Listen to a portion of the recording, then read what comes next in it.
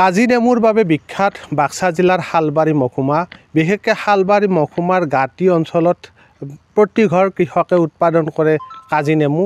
কিন্তু যি সময়ত কাজি নেমুক জাতীয় ফল হিচাপে ঘোষণা কৰিছে তেনে সময়তে কিন্তু এই অঞ্চলৰ কৃষকসকল আজিও তাৰ যি ফলাফল বা উপকৃত হ'ব পৰা নাই।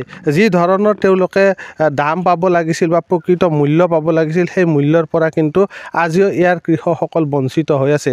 কিয়নো এই অঞ্চলত প্ৰায় প্ৰতিটো পৰিয়ালে প্ৰতিগৰাকী কৃষকে চাৰিৰ পৰা দহ পোন্ধৰ বিছ বিঘালৈকে ইয়াত নেমু খেতি কৰা হয়। কিন্তু যি ধৰণে তেওঁলোকে উচিত মূল্য পাব লাগে সেই মূল্যৰ পৰা বঞ্চিত হৈছে। মোৰ লগত এগৰাকী কৃষক আছে যিগৰাকী কৃষকে প্ৰায় চল্লিছ বিঘাতকৈ অধিক নেমু খেতি কৰিছে। মই তেওঁৰ পৰা এই বিষয়ে জানিব বিচাৰিম। দাদা আপুনি খেতি কিমান বিঘা কৰিছে?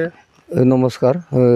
মোৰ খেতিটো বৰ্তমান আছে ঊনত্ৰিছ বিঘা। ঊনত্ৰিছ বিঘা। অঁ ঊনত্ৰিছ বিঘা। অসমত যিহেতু জাতীয় ফল হিচাপে নেমু ঘোষণা কৰিছে বা মুখ্যমন্ত্ৰী হিমন্ত বিশ্ব শৰ্মাই ইয়াত নিৰ্বাচনী প্ৰচাৰ চলাবলৈ আহি ইয়াৰ কাজু বিদেশ বা অন্যান্য ঠাইলৈ ৰপ্তানি কৰাৰ কথা ঘোষণা কৰিছিল।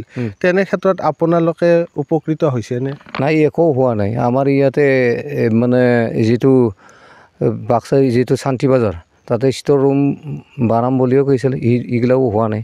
বৰ্তমান যিটো আমাৰ অসমৰ যিটো খাদ্য কিবা হিচাপে ঘোষণা কৰিছে এই হিচাপত আমি কোনো হেৰি পোৱা নাই আৰু। দামটো একদম বৰ্তমান একদম তলত যাই আছে।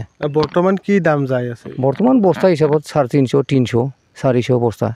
কিমান উৎপাদন কৰে আপুনি? উপাৰ্জনটো মোটামুটি এক চালান চালান ছিঙিলে এক হাজাৰ বস্তামান হ'লে। এতিয়া ক'ত আপোনালোকে এই বস্তুবিলাক পঠাই আছে? বৰ্তমান বেপাৰী আহি আছে বিলাচীপাৰা হাউলি বৰপেটা ৰোডৰ পৰা। আহোন ডাইৰেক্ট গাড়ী আনি ডাইৰেক্ট লৈ যাই আছে। কিন্তু চৰকাৰে যি ধৰণে কথা দিছিলে ইয়াৰ পৰা বিদেশত নিব বা বহিৰাজ্যত নিব। তেনে ধৰণৰ মানে হেৰি হোৱা নাই এতিয়ালৈকে? বৰ্তমান যিমানখিনি যি কথা দিছিল এই কথাখিনি বৰ্তমান একো হোৱা নাই। আমি যিটো কৃষক হিচাপে আমি যিখিনি কিবা দেখা দেখিম বুলি ভাবিছিলোঁ এইটো দেখা নাই।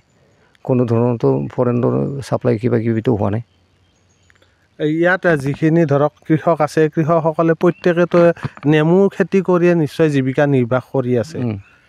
বৰ্তমান আমাৰ এইটো অঞ্চলত গাঁতি বা শান্তি বাজাৰ বা কাঁহীবাৰী মায়াংপাৰা বাটাবাৰী পালচিগুৰি কমলাবাৰী এনেকৈ এইগিলা জেগাত প্ৰত্যেক ঘৰতে পাঁচ বিঘা দহ বিঘা তিনি বিঘা বিছ বিঘা এনেকৈ নিবতীয়া খেতি কৰি আছে। এই খেতি দি আমি অলপ চলপ চলি আছোঁ আৰু।